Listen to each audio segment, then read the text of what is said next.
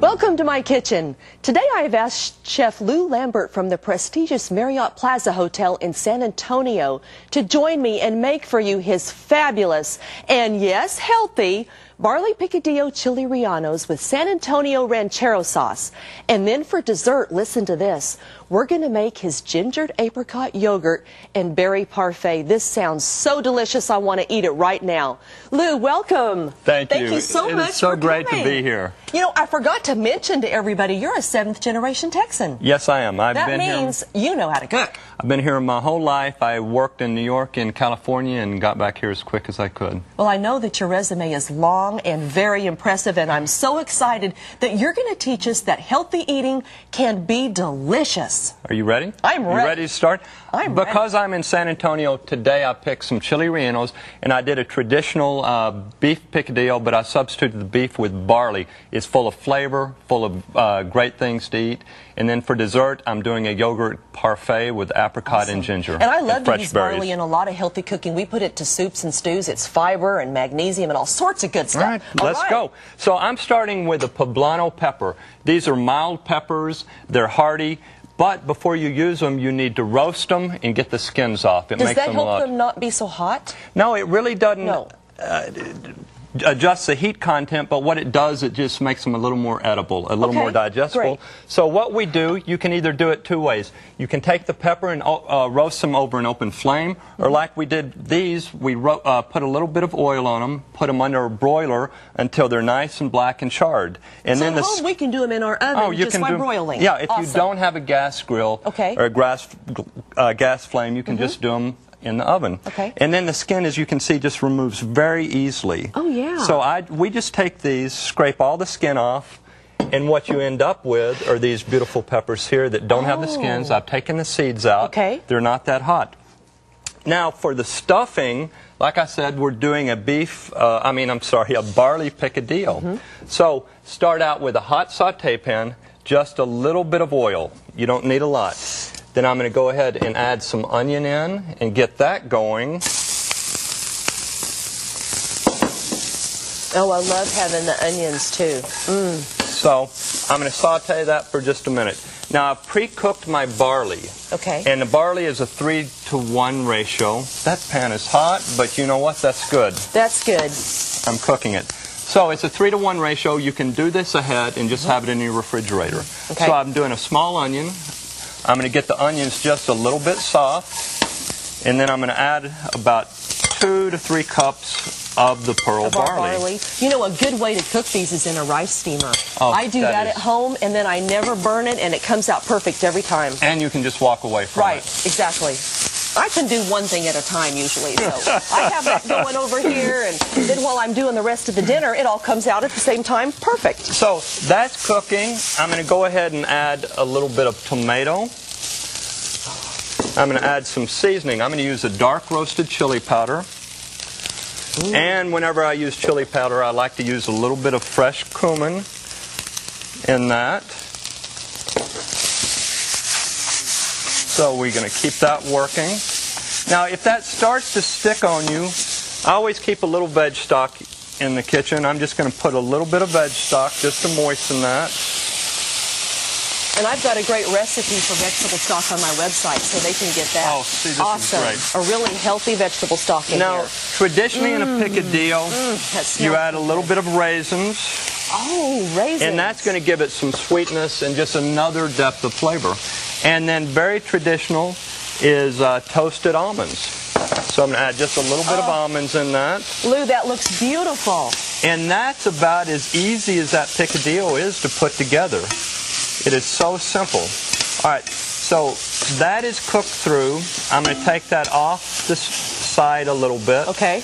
And then we're going to quickly make our ranchero sauce. Again, this is such a simple dish to do, and it's just loaded with flavor.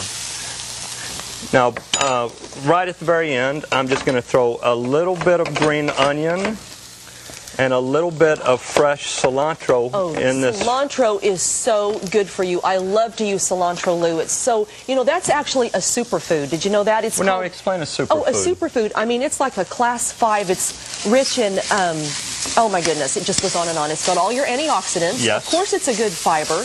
And um, it's got many minerals. It's a source of calcium as well. Can you believe that? All in Calcium in cilantro. What, in cilantro? I didn't know that. Yeah. All right, now for the ranchero sauce, very quickly I've just uh, chopped up some onion, some poblano pepper, a little bit of garlic, Okay. and uh, I put that with a little chili powder and I'll roast it in the oven. That's another way, Mm. instead of if you want to eliminate a lot of fat from your diet, Mm-hmm. use your oven and roast it. Oh, good. You get the same nice, nice color and caramelization without having to saute. So I have taken that vegetable that just has a little bit of chili powder on it.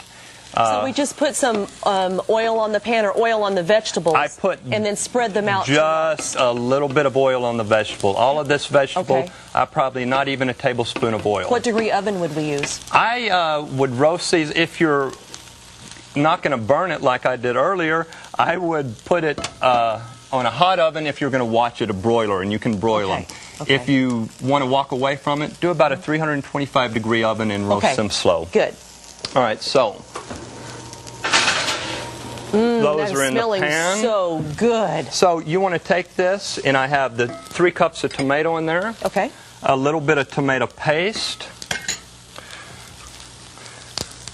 So you just kind of mix that around and Mix let that the heat around. just kind of meld the flavors. and then a little bit of vegetable stock, ah, good. and a little salt and pepper, and then you just want to cook this out for about 15 minutes, let all the flavors meld. So we are ready to assemble. All right. Ooh, this, is going to be fun. Lou, that smells so good. Isn't that oh, great? it just is wonderful. So I'm going to take our pre-roasted peppers, and you just want to stuff these, and you could do this filling the day ahead.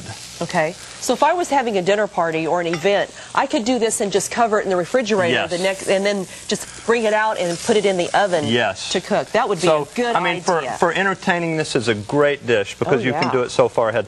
So you're going to take your time. You're going to stuff all your peppers. Okay. Once all your peppers are stuffed, you're going to spoon some of your ranchero sauce over the top. And then again, this can be done ahead. And you can get about six peppers in here. Wonderful. And then at that point, you're going to take, I, I love to use this uh, farm cheese, which Oh. is a fresh cheese. Um, it's made out of uh, cow's milk, but it just has a lot of flavor Really? and it's really crumbly. Now, where could I get that? Uh, any of your grocers has this. Okay, and it's called farm cheese? It's called uh, farm cheese or in San Antonio, uh, queso blanco. Is it different than jack or mozzarella in its, flavor? In the flavor, it's a little bit lighter. I find it not as fatty. Okay. So I, I, I It's real love mild, it. It's a nice very mild. mild cheese. Oh, so that is done. Beautiful. And Oh, you've got a finished one for us? Here is hmm. a batch that we had done earlier. Ooh. Oh, that's beautiful. So here these are. You get a. There's a big spoon you can serve great. it up with. Great. Mm, put that on the plate. That is just beautiful. So I take these, Oh, I bet your guests in the restaurant just love this and then I take a little bit mm. more of the ranchero Okay. sauce, just like that. And then, pardon me, take a little bit of cilantro, There you go. Isn't that- that beautiful? and that is your chili relleno with mm, picadillo. Beautiful. And it smells so good and it's healthy, filled with antioxidants and fiber. This is healthy cooking And with the barley, you're not going to miss not eating meat No. because it has a texture and it's, it's got a lot of. Right. uh, oh, and we're still getting protein. Yes. All right. Well, before I taste that, let's make dessert. What do you say? This is going to be one of my favorite desserts on the run in the summer. Uh, what I've done is taken a non fat yogurt, and this is a great trick to do. I put the yogurt in a cheesecloth or a coffee filter. so it's just like a paper filter. It's a paper, paper coffee filter, and what that does is drain out the whey or the, the Oh. liquid in there. So yogurt has that much of a, of a water content. It's probably no- okay. 30 to 40 percent water content. Okay. But what you're doing, I'm still using a non-fat yogurt, and then am I still on there? Oh, that's and then uh, it's got the consistency of almost a whipped cream, if you will. Oh, it sure does. It's so light and fluffy. Yes. So instead of instead of using a heavy cream mm-hmm. or whipped cream, I love to use this. Now, also what I'm putting in with this, let me grab a spoon Here you go. right here. Thank you. Is you can either use any kind of jam that you want. Mm-hmm. I use a no sugar added natural jam. This is an apricot ginger jam. If I couldn't find the apricot, I would um, the ginger. I would put fresh ginger in it. I love using sugar, no sugar in my recipes. In fact, everyone knows out there that you don't find any table sugar in Cindy's recipes. so I'm really glad you did And I think as a chef, I think it's my responsibility to teach people that you don't need all of that added don't. sugar and all. And we, our palates have become so accustomed to it that once you wean yourself from all the fats and sugars, you are you don't miss it. You, You truly don't. don't. And then when you eat that big sugary something, you're just it do, doesn't have the same appeal to me. It doesn't. And this is just beautiful. All right, see how easy that was? I put the the ginger apricot So we've got jam. yogurt and we've got some gingered apricot jam. Now let's just say I couldn't find gingered apricot. I would just get apricot and then maybe some fresh Just some ginger. fresh grated ginger. What about the crystallized ginger? Would that work or no? Most of Probably the not. crystallized ginger, it would work, but Has most of that it. has sugar, Sugar, in it. we It's don't been want that. crystallized with That's sugar. right. All right, so that was that simple. Okay. I'm going to set this here, and then let's assemble Now to one. make our parfaits. All right. Oh, this will be good. All right, so I take a little bit of your apricot cream, Okay. yogurt cream, put it on the bottom, Okay. and I just made this here, Cindy. Oh, that is so. Mmm, it smells so good. And then But I like ginger. I'm going to take some fresh berries, and today we did strawberries, raspberries, and blues, blueberries. Okay. do another layer, and then another layer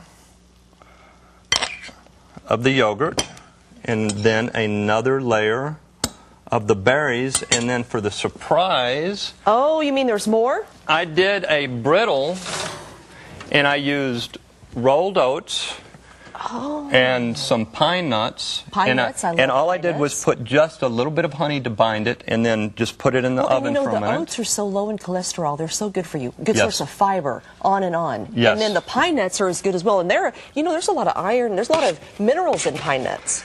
And, and this And no sugar. And Yay. To to instead of a cookie or something, mm-hmm. because we've been so accustomed to, to Right. eating that, this gives you that little crunch. That's something a little different. Oh, how beautiful. And there's your dessert. So that no, it's your not your drink. It's your dessert. Now, Lou, this is just absolute. Now, this is wonderful. Now, do I get to taste it? Please What do. do you think? Oh, I'm going to have a little bit of this. Let me get this out of your way. Oh, my goodness. Please you know, this is just healthy cooking at its best. There is nothing better. There I is so much flavor. You've so got much between the barley, you've got the pepper, the cumin, the chili powder. It's not too hot. Oh, it's not. It's not hot at all. It's not. It has just a little bit of pepper in there, enough to wake up your taste buds. And, you know, this is healthy cooking, like we say we like to do, with a lot of flavor, but yet there's no fat, really. in And how whole- simple was it? How simple. I, we can do this at home. Yes. Now, Yes. I've got to have dessert. This is what I've been waiting for and waiting for, except it's gonna, I'm going to make a mess here, but you know Please what? do. That's okay. I can clean it up later.